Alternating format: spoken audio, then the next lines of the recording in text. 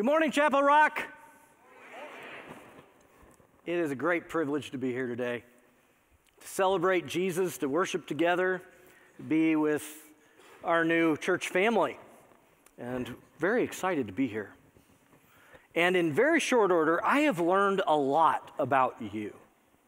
I have. I've learned a lot of things, but also about you. So let's start with what I've learned. Uh, first, I learned that, um, you know, when you, you're starting a new job, energy management's important. It is. So I finished my last job last Friday where I spoke at commencement at Central Christian College of the Bible.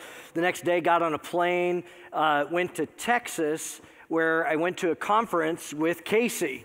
And uh, we, we left Texas on uh, Wednesday night, got home to Missouri really late. It was about midnight by the time we hit uh, the bed. The next morning, got a truck and we loaded it to move here. Friday morning, we drove here and praised Jesus for the Chapel Rock staff who were there at the Arbuckle and unloaded us in record time. It was like two hours. And all our possessions that were in uh, our car and our truck were suddenly in the apartment. And I'll let you know when we find everything. Uh, one thing that's really good is Deb took care of making sure the kitchen was settled. She's like, they're going to need to eat. And it, that is wonderful. So we're in really good shape. But then on top of that, you all have just spoiled us with generosity even before you know us. And there were welcome gifts in uh, uh, this box that you all provided. And you have no idea how much of a God ordained thing that was. Because remember, I, I talked about time management, and that means priorities. Yesterday was a really big day in our life because it was our anniversary. yeah. And so, yeah, it's worth clapping about. I'm pretty happy about it. So. But uh, some of you provided some gift cards that actually made it possible for us to go out to dinner and not worry about things at the apartment. Thank you so much. Your kindness is overwhelming. You, you have blessed us. So we, we've seen your hard work, we've seen your staff, we've seen your generous heart. We've been able to worship Jesus with you and see your passion for Him. And it's, it's exciting. It's really exciting to be here. So that's about you. My parents raised me. I'm supposed to share something about me when I meet people for the first time. And I, I think this is really important because it, it's really kind of the heartbeat of my ministry and how I, I see what I do, but also the way I see life. And that is a favorite. Everybody's got a favorite. And if you're sitting next to your spouse, or if they're somewhere else, your spouse is your favorite. That's, that's the cue, okay? The spouse is your favorite. But we also have other things that are favorites, like our favorite car, our favorite movie, our favorite flavor of ice cream. Mine is all of them, and I'm willing to accept donations. but I'm quirky, and I have a favorite word. It's a biblical word. In fact, this is, in my understanding, probably the most powerful word in the English language. Actually, it's not just English, it started in Hebrew and it trickled down. It's so powerful that this one word captures the entirety of theology, the message of God, from the beginning of Genesis all the way to the end of Revelation. Any guesses? Okay, we went through this in the first service, and they just okay, he's supposed to talk about hope today. And so this is, it's related, but not quite. I'll give you another hint. The word that encapsulates the theology of the entirety of Scripture only appears in the book three times. Twice in the Old Testament, in the same book, in back to back chapters and once in the new.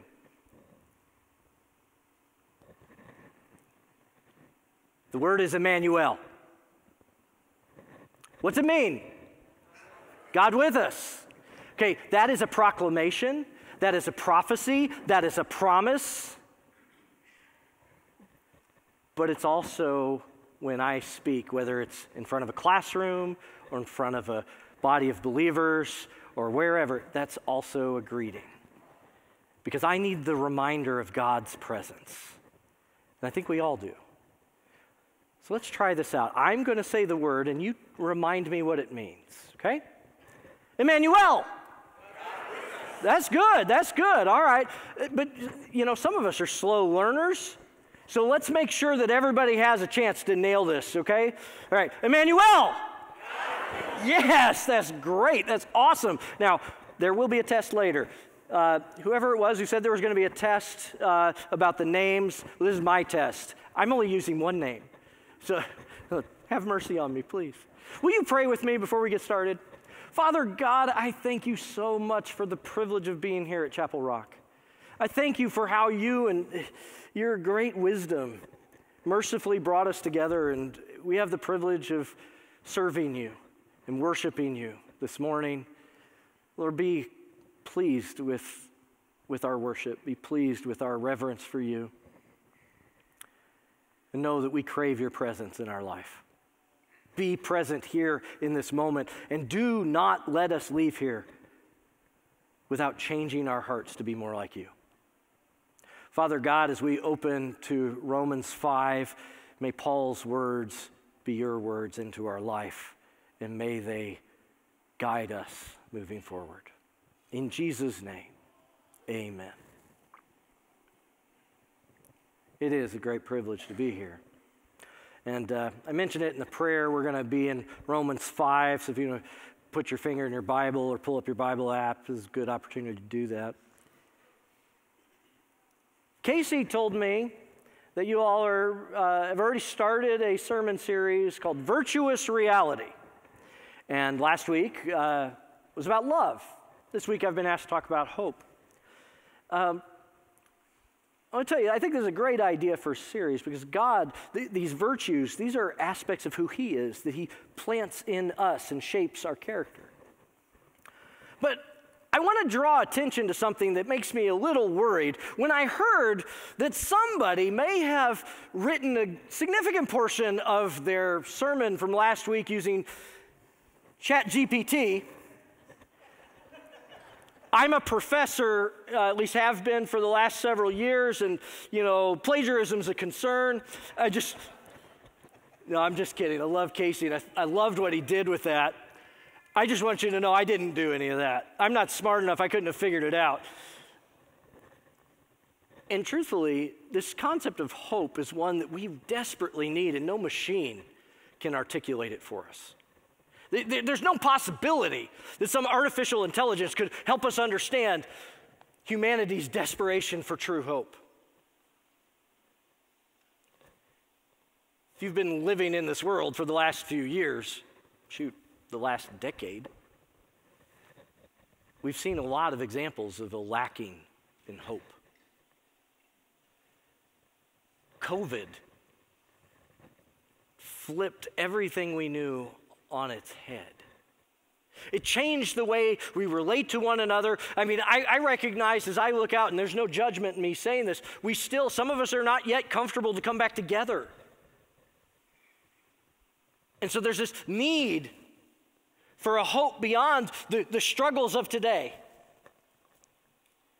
and we've faced political upheaval and financial ruin, and there, have been all kinds of difficulties that our nation has faced, not to mention what's going on on the other side of the pond. There's a huge war being faced.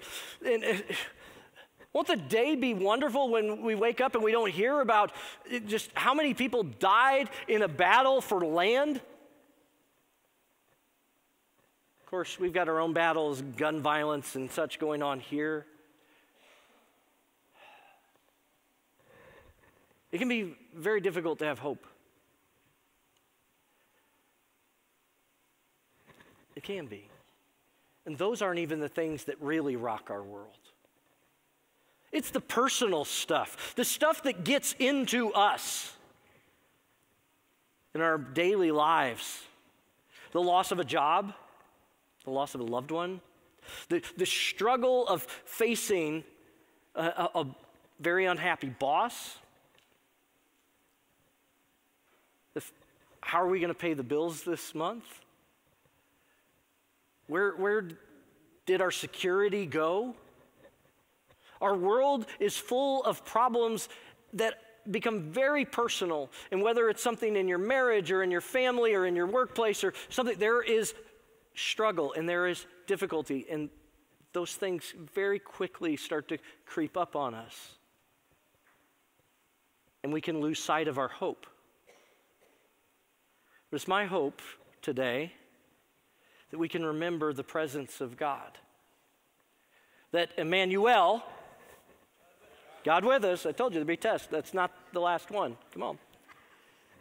That God is with us, and where He is present, there is hope. And that's really what Paul is getting at in Romans. This, this letter that he wrote, it's actually a written sermon that was shared with the church, and it was a church in crisis. The, the Roman church was in crisis because Emperor Claudius had kicked out all the Jews from Rome. That meant that half the church had to leave because half the church, maybe more, were Jewish Christians. And who was left? The Gentile, the non Jewish believers. And they're the ones who have to figure out how do we do this Christian thing? Its origins are in the, the prophecies and practices of the Old Testament. And the people who knew it best, they had to leave.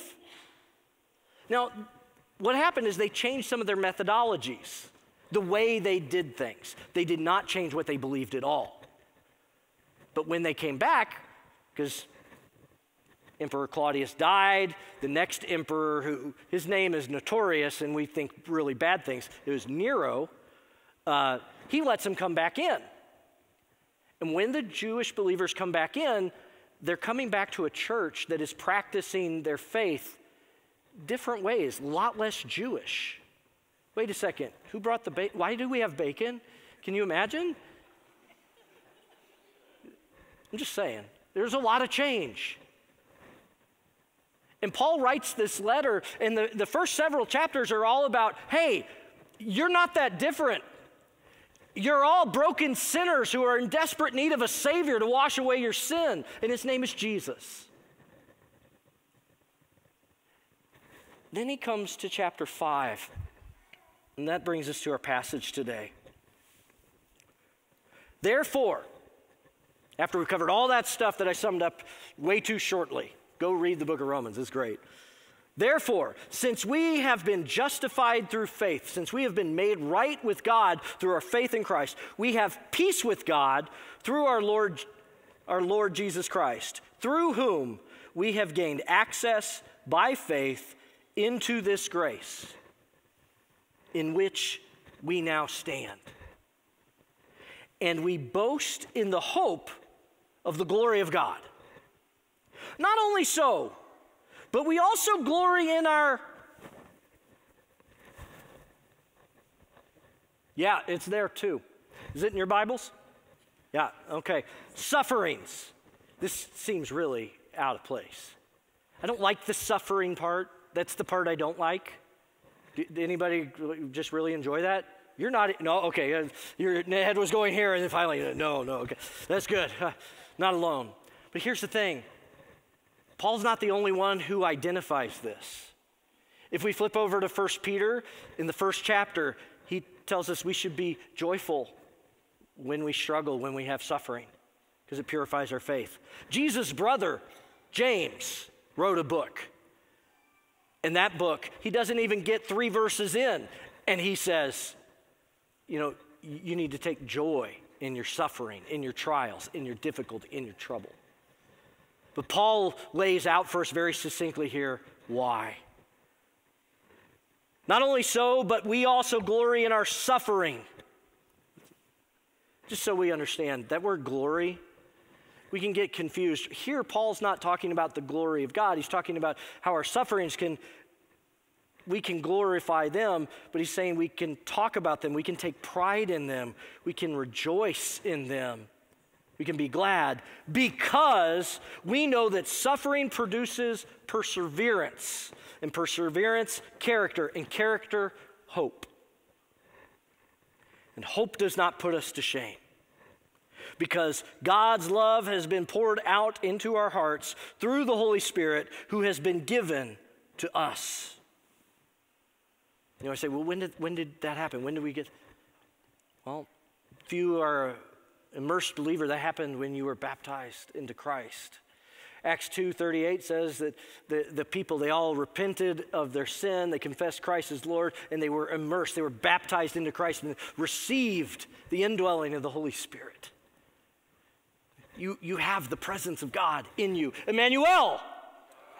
That's right, that's right. God is with you. And we grow through that times of struggle and, and, and trouble and tension and difficulty.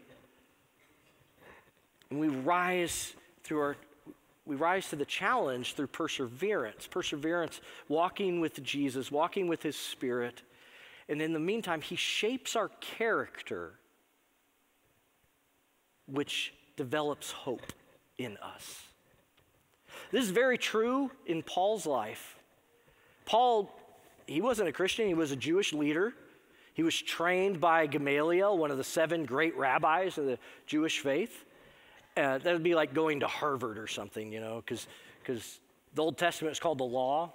Yeah, he was a, a law student. But he didn't like this whole Jesus thing. He thought it was going to ruin Judaism. And so he was stamping it out until one day he was on his way to Damascus and Jesus put his foot down, literally. Showed up and said, Why are you persecuting me? By the way, Jesus had already died and risen again. And so Paul was pretty acquainted with the idea that if Jesus was actually alive, that meant his whole philosophy and theology was wrong. And he spent the next three days sorting that out in prayer and fasting, was baptized, and then became a great advocate of Jesus and the way. Yeah, I saw that sermon series too.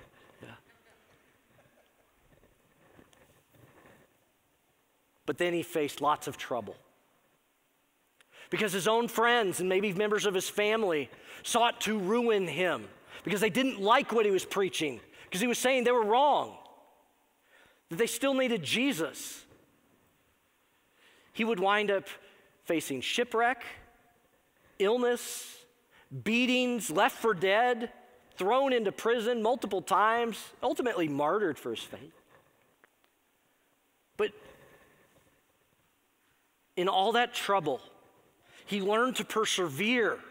Leaning on Jesus is Jesus shaped his character to be like him. So that when we read Paul's letters, Jesus seeps through the pages for us.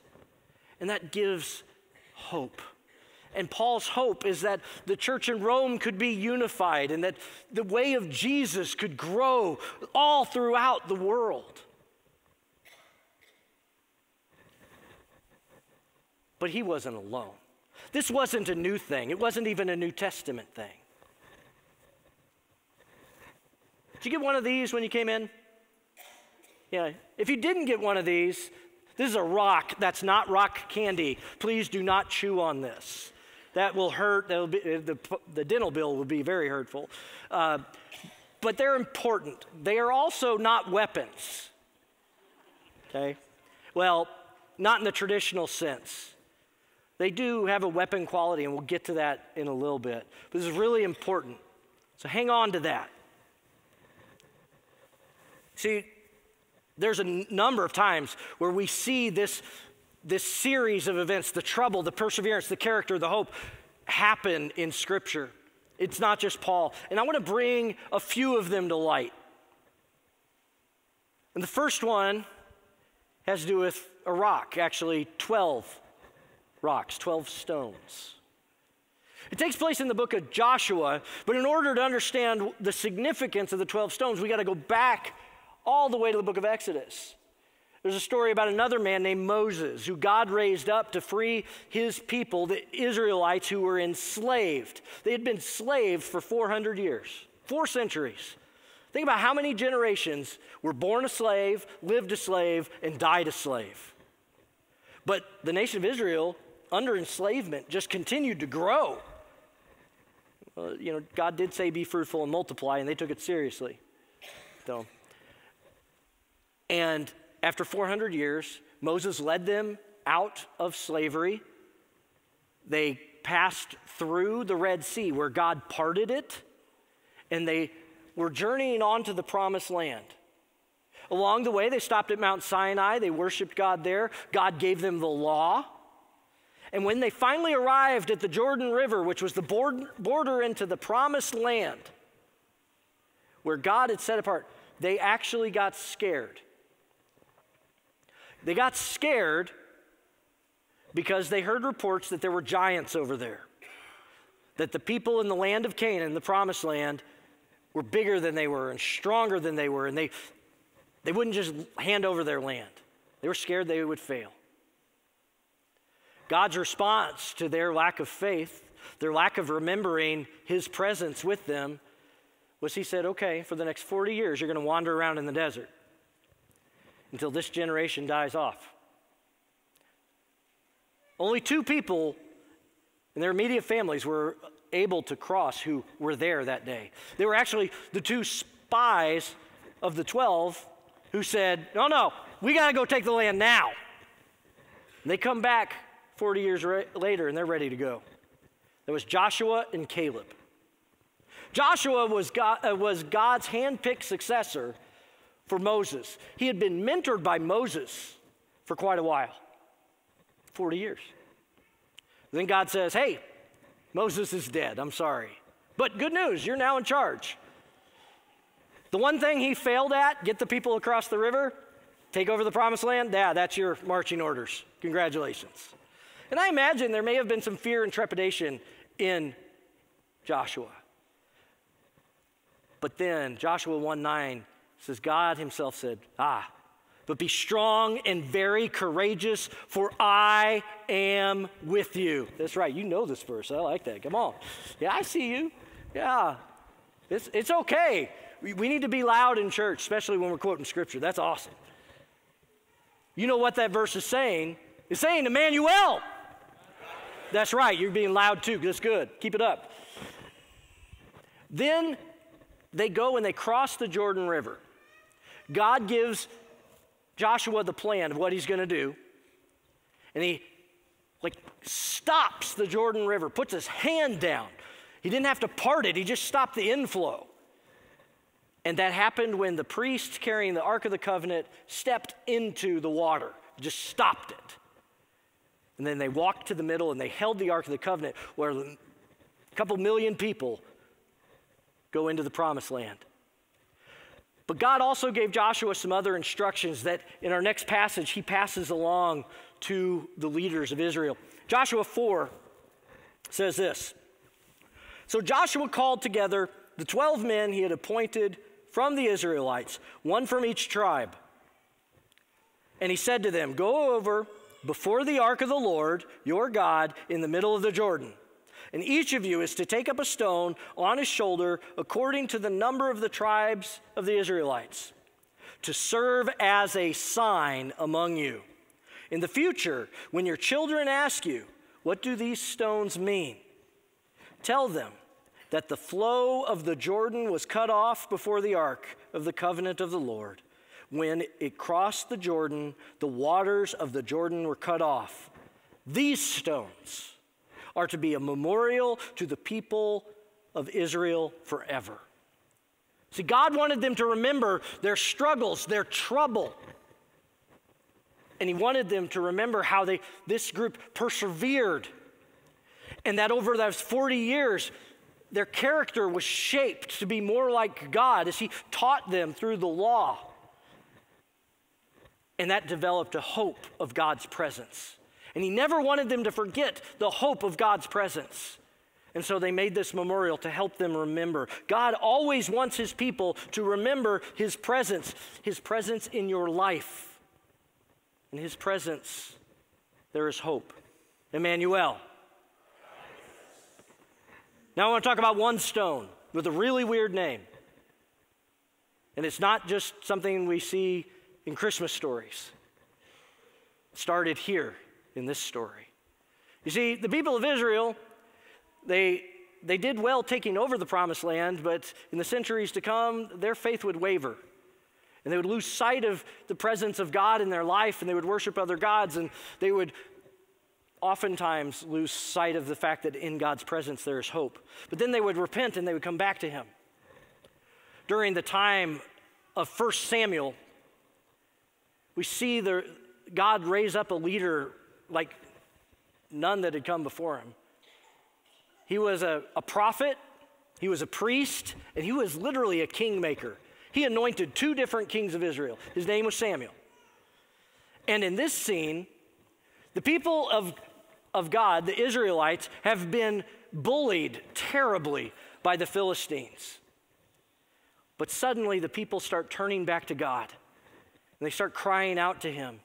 And so Samuel starts leading them in the steps of repentance and true worship of the living God. And he calls them to start putting their, putting their life into what they were saying.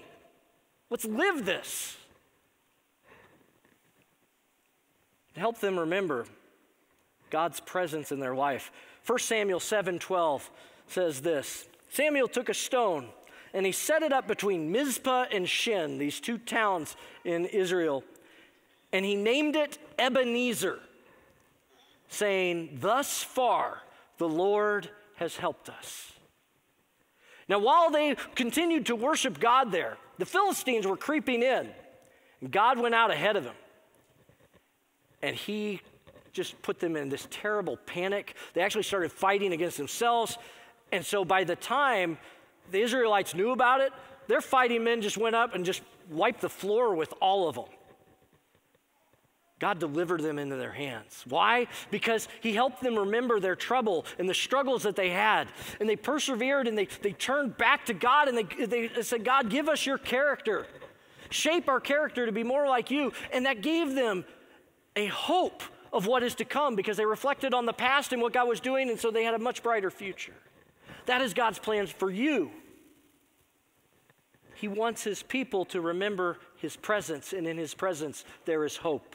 Emmanuel. Okay. This next set of stones, the rolling stones. Not those stones, different stones. We'll talk about them one at a time. The first one happens in first one happens in the book of John. It's about a week and a half, two weeks before Jesus is crucified and rises from the dead. He gets a message from his dear friend, Mary and Martha, that his other dear friend, their brother Lazarus, was very ill. And they're asking him, Come quickly, we know you can heal him. See, they had hope in Jesus. And then Jesus did the exact opposite. He had some things on his agenda that he wanted to do. He did not go there, not right away. And then eventually he does. And when he arrives, Lazarus has been dead for four days. Mary and Martha come out to him immediately. Well, if you could only have been here. Maybe you're in that moment in your life where you're just like, God, if you just would have been here, this wouldn't have happened. My spouse and I wouldn't have had that fight. I wouldn't have lost my job. This other thing wouldn't have happened if you just could have been here. And Jesus says, Oh, don't worry. I'm the resurrection and the life. If you believe, you're going to see the glory of God. And so he goes to the grave of his dear friend, Lazarus, and he weeps there with him. Shortest verse in the Bible, it says, Jesus wept. He acknowledges the feeling of hopelessness that they all felt. I think Jesus wept because he knew what he was about to do, and he was sad that his friend was going to have to experience death twice. But then he insults the whole community. He does. He says, Roll away the stone. You say, How does that insult the whole community? Well, this was long before Israel had embalming practices. So there's going to be a terrible stench. In fact, Martha said, There's going to be a terrible stench. He says, Don't worry about it. I got this. He says, Take away the stone in John 11, 38 and 39. Just realized I skipped a slide. Sorry, guys.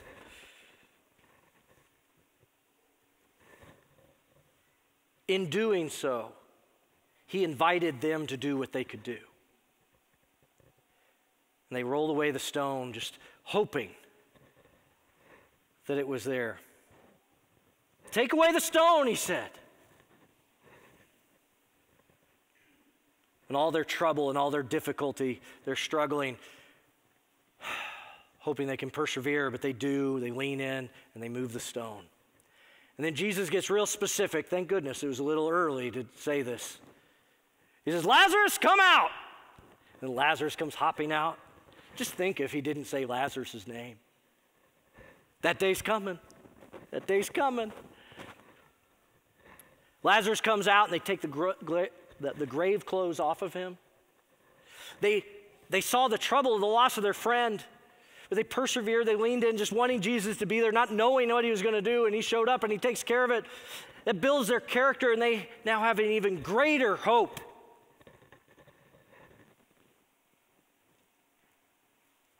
This hope that they desperately need. See, God wants his people, especially those who are hurting and heartbroken and in pain, to remember all the times that he's already been there. If that's you today, to hear this, God is present with you, and where he is present, there is hope. Emmanuel. And I'm sure you've had times where you've seen that in your own life. But maybe sometimes it's really hard to, to experience that for yourself. I'm telling you, that's why I spend so much time focused on the presence of God, because I need the reminder. And we all do. See, they couldn't raise Jesus from the dead themselves, but they could do something. So they did what they could do. We see the same thing happen just a couple weeks later. Jesus dies on the cross. Buddy, bloody, beaten, bruised, his body torn to shreds. It's taken down lifeless. Joseph of Arimathea donates his own tomb that had never been used, and they lay Jesus there. And the women who witnessed Jesus' death, they, they take note of the stone being rolled in front of the tomb and where it is.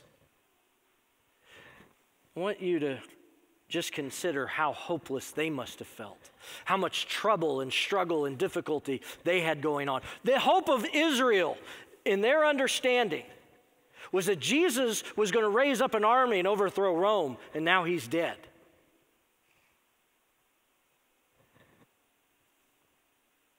Will you join me in Mark 16? The words will be on the screen here. When the Sabbath was over, Mary Magdalene, Mary the mother of James, Salome, they bought spices so they might go and anoint Jesus' body. Very early on the first day of the week, just after sunrise, they were on their way to the tomb and they asked each other, Who will roll away the stone?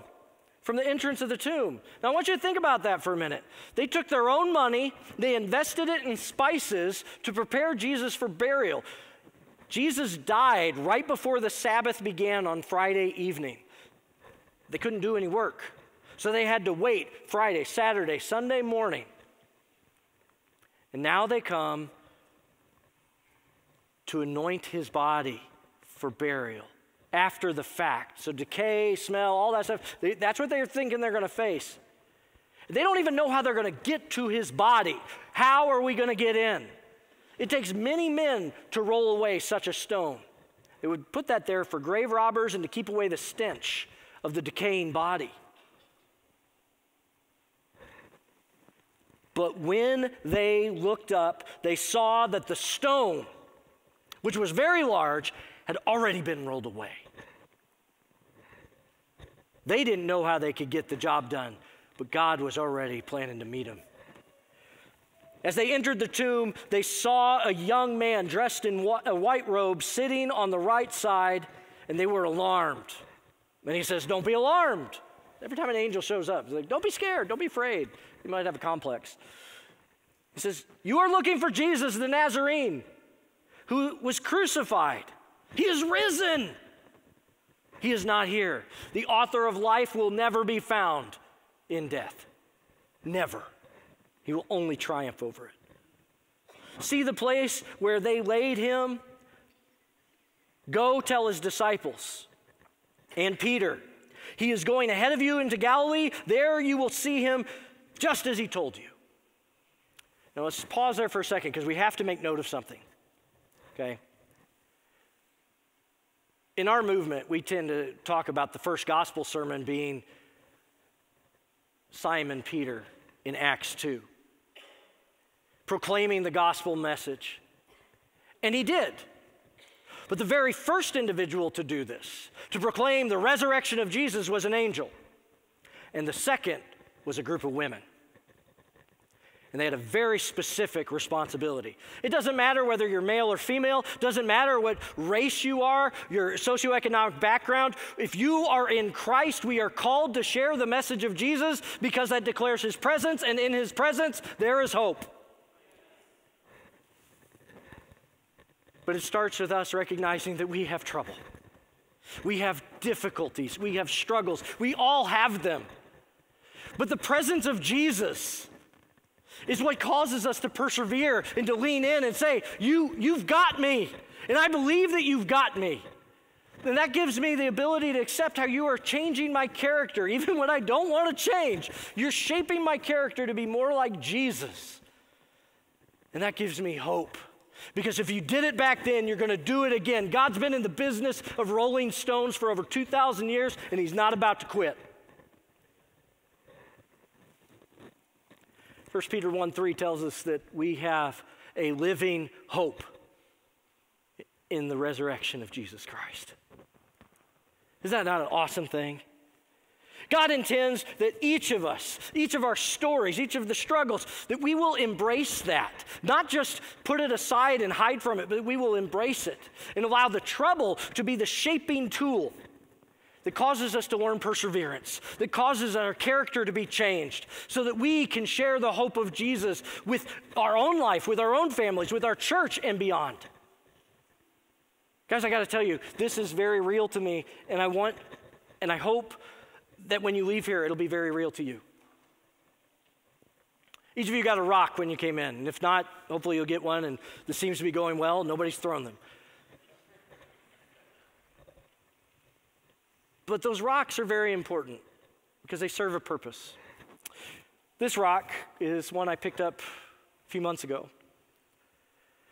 My wife and I knew that we weren't going to be at Central Christian College of the Bible much longer, but we didn't know where we were heading. We had Con, you know, been in contact with other churches and ministries and had discussions. Some of them went really close and then suddenly they just disappeared.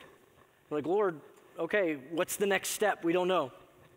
Out of the blue, I get a phone call from a good friend of mine. His name's Jim Estep. He happens to be a very good friend of Pastor Casey. And they have a conversation about this position. Jim says, You need to talk to Brandon. Well, Jim calls me and says, You're going to get a phone call from Casey Scott. like, I don't know Casey Scott. He's like, No, but you're going to love him. And you need to listen to what he has to say. So, okay. So we wind up having a Zoom call, and uh, it went so well. It was the first step in the interview process.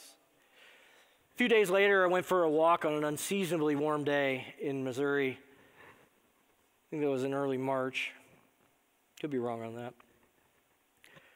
But as I was walking along, I was praying. I do a lot of prayer walking. And I'm like, Lord, you kind of broke my heart on a few of these near misses. I, I want a hope here.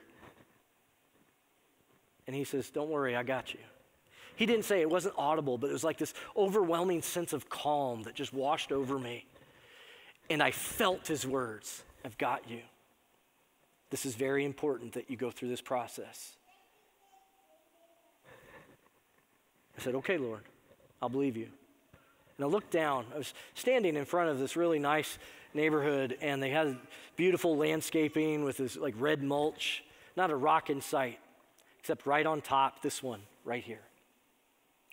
I picked it up, as I've done on other occasions where I felt God was speaking to me. I picked it up and I put it in my pocket.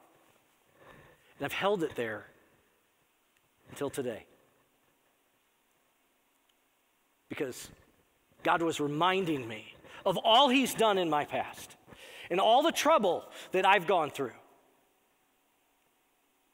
That He's teaching me perseverance and shaping my character so that I can better share the hope of Jesus.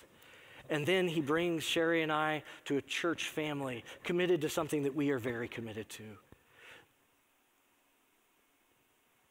the hope of Jesus. Jesus is in the process of making all things new. He says so in the book of Revelation. He's not just doing something over again. He's not about business as usual. He wants to do something new. That means we have to change, and ta- change takes some friction, some traction, some trouble to learn perseverance, to develop our character, to give us hope.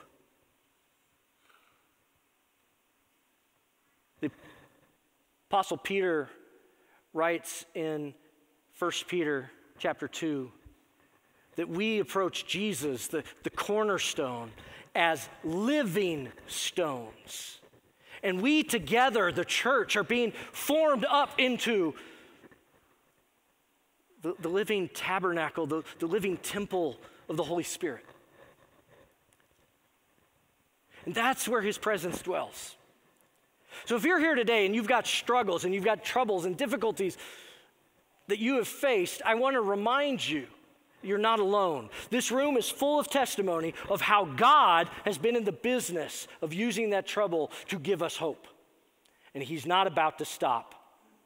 So, that rock that you have, that black rock, looks something like this. Take it home. For some of you, it's going to represent the struggle you're facing right now. And that's okay. But remember all the things God has brought you to to this point.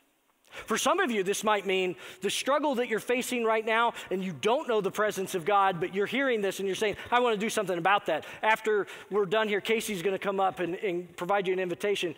Take, take him up on that. But take your rock with you, because it'll be a reminder of this journey. For others of you, there are all kinds of other things that this might be a reminder of. Take this and be rem- reminded of the hope we have in Jesus his presence. If you got nothing else, it could be a reminder of that one day the crazy preacher came and armed the audience. Because this is a weapon, but it's a weapon of hope. We have hope because of his presence. Emmanuel? And where he is, there is hope.